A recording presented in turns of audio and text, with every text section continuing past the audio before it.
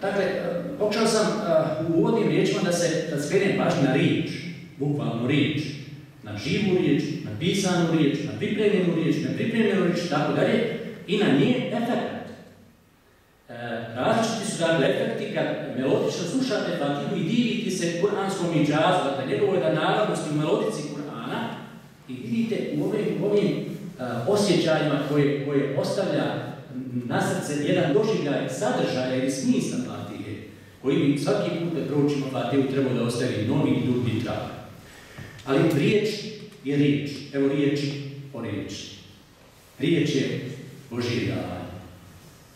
Ona je fenomen bez kojeg se u ovom svijetu razloga i razumijevanja teško uspostavila komunikacija među ljudima, kojima je govor riječima jedan od načina.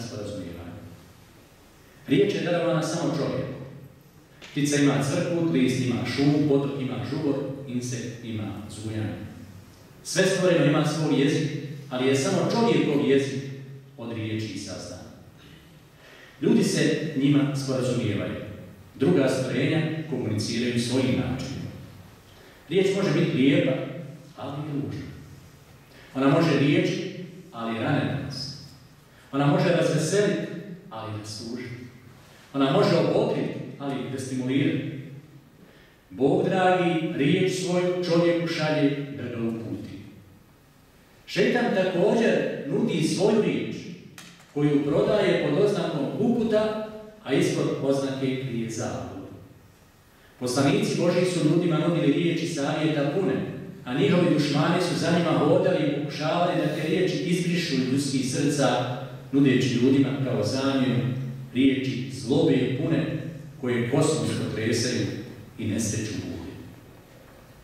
Lijepom riječu se istina osvjetljava. Ružna riječ zabludu priziva. Nudeći onim svojim robovima koji su spremni pouku primiti različite primjere u svom mudrom kitabu, Bog dragi u suri Ibrahim govori o te dvije vrste riječi i pretvara ih u sliku. Slika je dovoljno jasna. Ona traži samo pažljivog posmatrača na čijem oku nije koprena predrasude koji okom vidi, a budanje. Bog dragi nam nudi riječ o riječima. Hafiz Ajeti je proučio upravo taj, nismo se dogovarali, vjerujte. niti on znao da ja imam ovaj citat, niti sam ja znao šta će on proučiti večeras. Ali on, on je proučio, čuli ste uvodne riječi. Zar ne vidiš kako Allah navodi primjer? Lijepa riječ je to lijepo drvo. Korijen mu je čvrsto u zemlji, a grane prema nebu. Ono plodstvo daje u svako doba koje je gospodar njegov odredio. Allah ljudima navodi primjere da bi pouku primili. A ružna riječ je ko ružno drvo. Iščupanom drvetu s površine zemlje nema ostanka. Islam je u istinu lijepa. I značenje je lijepo. Zar ima išta ljepše od iskrene, srčane, odlučene, pokoljepljive predanosti Bogu? Lijepo drvo je vječno. Njegov korijen svakim danom se dublje prodire u dubinu, a i po širini zemlje je dunjalka. Krošnja mu je sve raskošnija, vlad sve ugodniji i bezbjedniji. Dok dunjalučki povjetarci kroz krošnju lijepog drveta provlače svoje lježne prste, njegovo lišće ponavlja glas što se nasionom širi i kroz povijest odzvanja. O vjerni, udhulu visilni gafetan, svi u ovaj bezbijedni hlad, sil, uđite. Ne vidite za šetanom, on vam je zaista otvoreni. Što su vjerni duže u okrilju Islama i što duže duše njegove plodove, njihovo uvjerenje da su trajno, sigurni, bezbijedni, zaštićeni, da imaju zagarantovanu sretnu budućnost u vječnosti, postaje sve čršće, širi se cijeli njihovim bićem i iz grudi izlači riječi zavale. Bogu dragom zahvaljujemo koji nas je ovdje doveo, alhamdulillah i bedina dana, ali hada i tako dalje, da nam on nije do put pokazao, mi ga sami ne bismo. Oni što je gospodar naš nama slao su zaista istinu sa sobom nosili. Kao odgovor na riječi zavale dolazi i riječi priznane. Taj džernet ste u nasljedstvo dobili za ono što ste činili.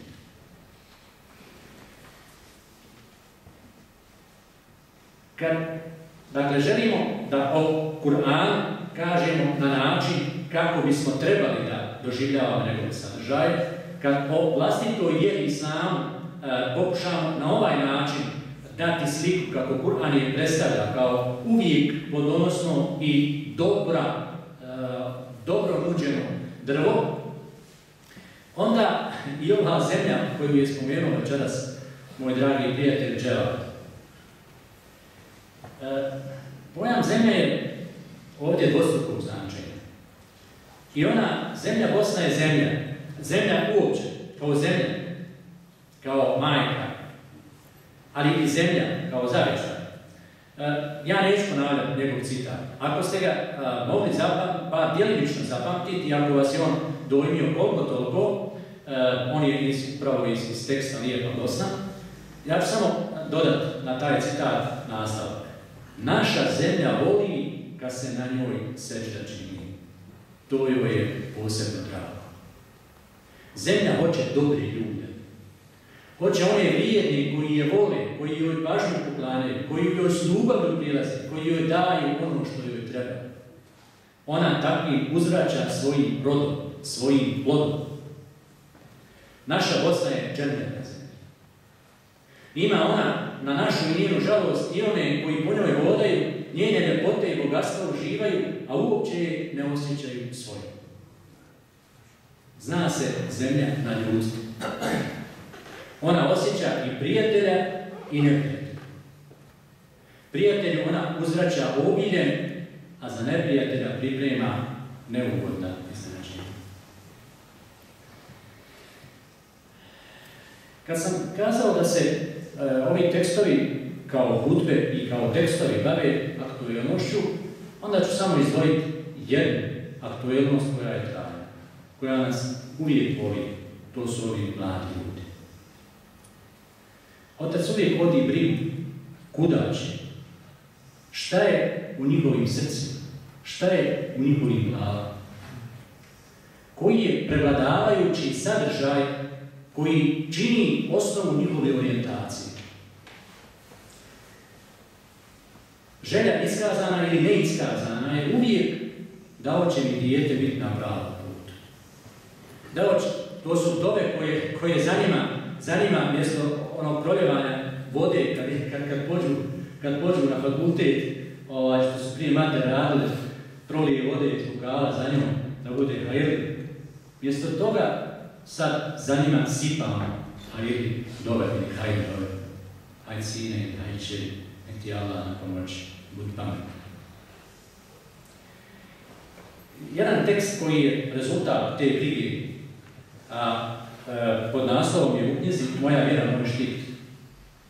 Divna, samo glasi. Mladi čovjek koji u sebi nađe dovoljno volje da prizna prihvati Boga dragoga kao onoga ko će ga voditi i nuditi mu efikasne oblike zaštite, pa se njemu preda. Bude mu teslim, bude musliman, kao što su to voda, vatra, vazduh, zemlja, zasigurno ima daleko više šanse da uspije u svojoj borbi protiv opasnosti vremena i sredine u kojoj živi u odnosu na ono ko vjeru odbaci kao sumišni sadržaj u svom. U slučaju da se Bogu dragome preda i bude spreman slijediti njegove smjernice, kad diler drugi stane pred i ponudi mu neslučene fantazije viru prav, taj mladi vjernik će se sjetiti da je samo jedan trenutak mira, spokoja, sigurnosti koju mu Bog dragi nudi ovdje i tamo, vrijedniji od svega što nudi bilo koja fantazija, taj balon praznine koji se raspline čim dostigne svoju kraju granicu. Kad ga parti, povuče u svoj zagrad, a granice čestitosti, moralnosti, etike, granice ljudskosti, četnosti, razuma, počnu da se gube u slojevima tima običnih cigareta ili trave, taj vjerujući omladinac će se sjetiti da to nije ni mjesto ni način, da on ljepoti svoje duše dadne odgovarajući ambijent, onu ljepotu koju ona zaslužuje, a koju Bog dragi nudi u tako mnogo prekrasnih mjesta na divnom bosanskom podneblju, da je samo jedan udisaj vlašičke svježine vrijedniji od godinama udisanog dima bilo kojeg partija. Kad ga na takvom jednom partiju putana muška ili ženska osoba privlačne vanštine opijena atmosferom ili nekim vještačkim opijatima, pijano pozove da provedu nekoliko trenutaka užitka ispunjenog, ispunjenog zaborava i sebe i drugih i svih muka koji pritišću od surove stvarnosti, ta mlada vjernička duša će se sjetiti da samo jedan trenutak sretnog zagrljaja vlastitog bračnog druga. Vrijedi više od svih ovih sati provedenih u razputnim seksualnim pražnjenjima koji je za sebe ostavljaju samo kajanje, gađenje, prazninu i osjećaj bezvrijednosti, često i začeto, nepoželjno, a nevino, živo biće koje biva ili ubijeno, ili bačeno i odbačeno, a u mnogo slučajeva se iz takvih trenutaka rađaju spolne bolesti, najčešće neizlječive, evo je sad to sida.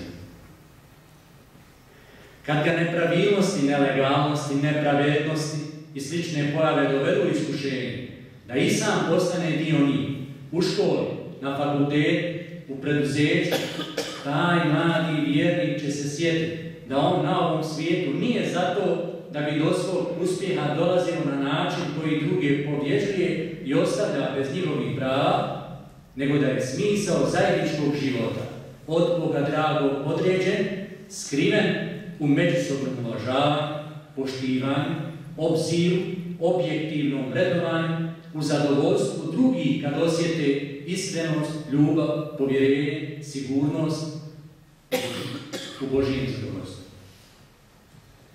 Brojni su primjeri koji bi mogli biti navedeni u prilog istini da vjera mladom čovjeku za svako zlo koje svakodnevno mijenja svoje lice nudi sretnu alternativu u dobu. Sve što se od mladih ljudi očekuje jeste da nađu dovoljno snage, da vjeri dozvole da uđe u njihovo srce, da ga oplemeni i očisti, da ga pripremi i osnaži, da ga učini sretnim za Najefikasniji rezultati se pokazuju kad su mladi ljudi udruženi u vjeru. Kad se prepoznaju kao duše koje vole Boga dragoga i teže da mu budu blizu, ma gdje bili, ma šta zajedno uvjeri, mladi ljudi ovog vremena mogu biti snaga koja obećava da nam budućnost neće biti haos, nego izvjesni red u kojem se može živjeti i preživjeti, u kojem će istinske vrijednosti moći doći do izražaja i razvijati se, u kojem će dominirati osmijeh, a ne krik očaja.